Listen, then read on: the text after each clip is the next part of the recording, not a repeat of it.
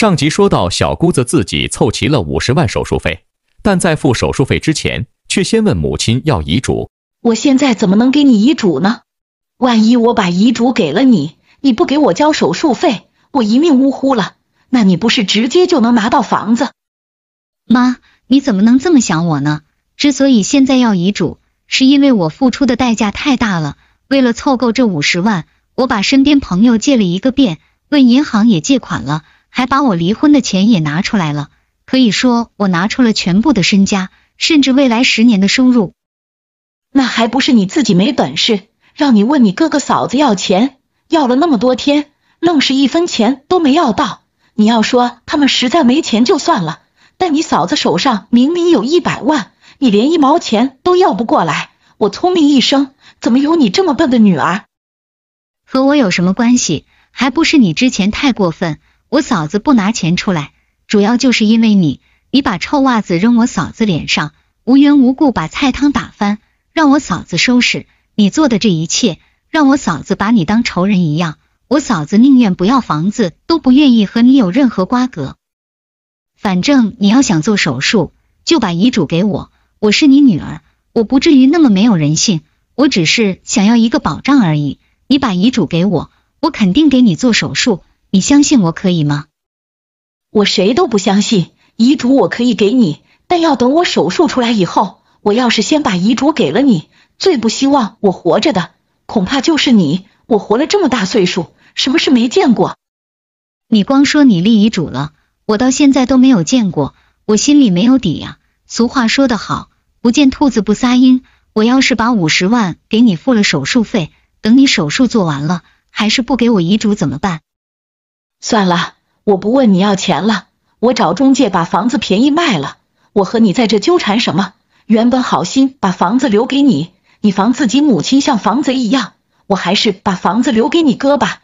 价值一百三十万的房子，我一百万就出手，今天就能卖出去。我做完手术还剩五十万。我拿着五十万投靠你哥和你嫂子去。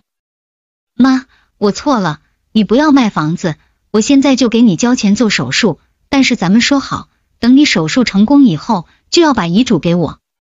三个小时后，妈，恭喜你手术成功，医生说这次手术特别顺利，现在可以把遗嘱给我了吗？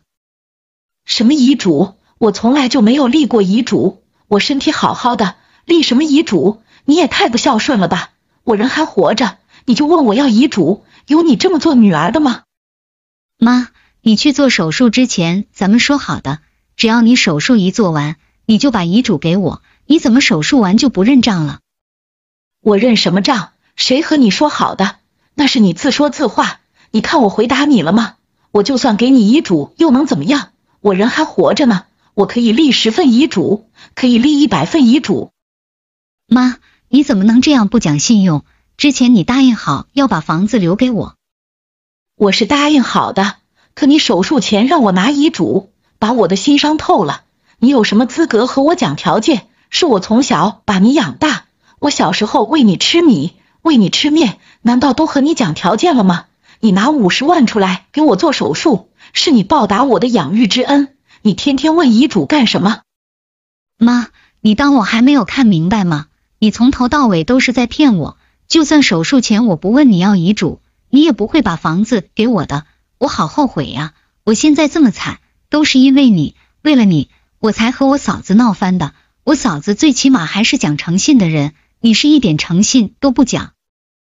这世上没有后悔药，想想你接下来该怎么办吧。你刚好离婚了，去我的房子住，以后就由你照顾我。但是你要给房租，一个月给我两千块钱就行了。你在外面租房子，一个月可不止两千，而且还没有我的房子好。当然，你要是把我照顾的好，我也会问你少要点房租。我是你女儿呀，你还问我要房租？就算我是陌生人，我都照顾你了，你还问我要钱？你也太能算计了。我看你就是想找个免费的保姆，不对，是倒贴钱的保姆。我就算睡到大马路上。我也不会去你家住的。小姑子转眼又去找了大哥。哥，你帮帮我，我都没办法生活了。以前是我鬼迷心窍，我给我嫂子道歉，你替我给嫂子说说好话，我想求得嫂子原谅。你的道歉我接受了，你还有什么事吗？没有其他的事，你就可以离开了。嫂子，我求你给我借十万块钱，我实在没有办法了。我外面欠的都是债，银行欠的也是债，我现在连住的地方都没有，甚至连吃饭的钱都没有。我也不奢求能再住到你家，我知道你现在看到我就烦，所以你给我借点钱，我搬出去住，我不在你眼前碍你的眼。你在想什么呢？你怎么还有脸来借钱？你要是不张口借钱，我还当你是真的道歉。现在看来，你道歉是假，借钱才是真的。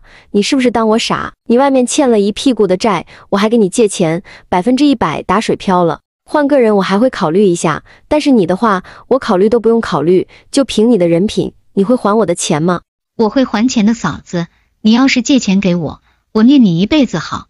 现在是我最困难的时候，你把钱借给我，就是雪中送炭，我一辈子都会记着你的。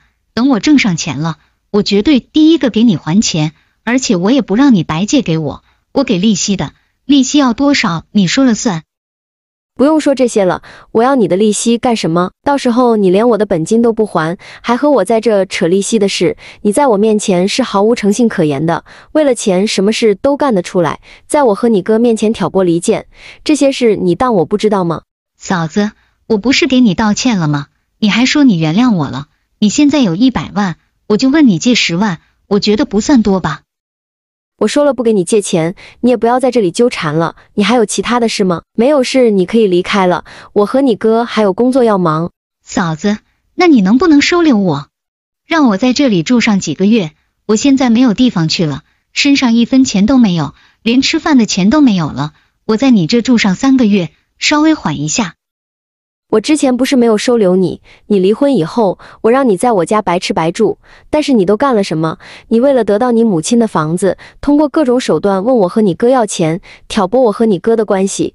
因为你，我和你哥差点离婚。就你这样的人，我还敢收留吗？你不收留我，我没办法了呀。